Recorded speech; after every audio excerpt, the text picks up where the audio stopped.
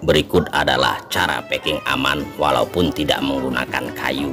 Udah terbukti sampai ke Papua, Kalimantan, Sulawesi, Jawa, dan lain-lain kondisinya aman.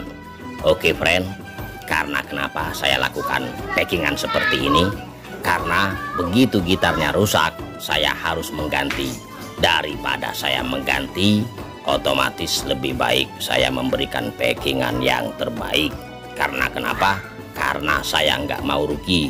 Daripada saya rugi harus mengganti gitar, lebih baik saya bekerja dengan sebenar-benarnya, dengan sebaik-baiknya, melakukan packingan yang aman dengan tujuan gitarnya sampai diterima dengan senyuman.